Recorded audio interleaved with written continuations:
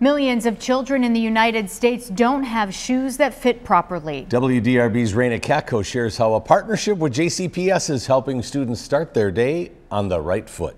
Their new shoes! It was a surprise, like my birthday. Third grader Vanessa couldn't stop smiling when she received her new pair of shoes. Gray and pink and blue, they're my favorite color. And she's not alone. Some shoes? Look at that. Zappos and shoes that fit surprised every student at Minors Lane Elementary. Look at that.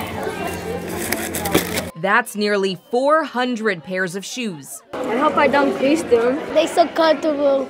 It feels great. It's a step forward that allows these JCPS students to learn better. Oh, here's a five and a half. Not having a problem of as simple as your feet hurting during the day, it, it helps with their concentration. Each student also picked out a bag. Hey, what color backpack would you like? Hat and matching mittens. Having hats and gloves to stay warm when they're outside playing in their new shoes.